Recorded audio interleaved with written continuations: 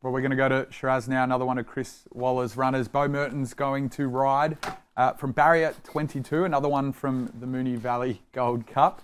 Uh, did we like that form? Did you like the run of, uh, of Sheraz in that race? Run was good. Uh, Bart Cummings' run was only fair. Um, I'm against him. I had something on it in the Moonee Valley Cup.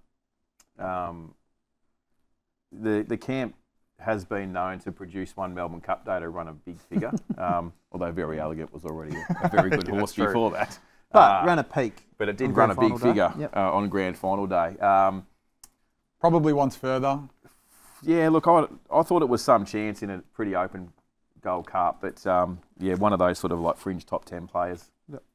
Yeah, fair. You I doing think it just needs a wet track. I don't think it's uh, going to get the, the track to suit, personally. Yep, I agree with that one. Chances are you're about to lose. For free and confidential support, call the number on the screen or visit the website.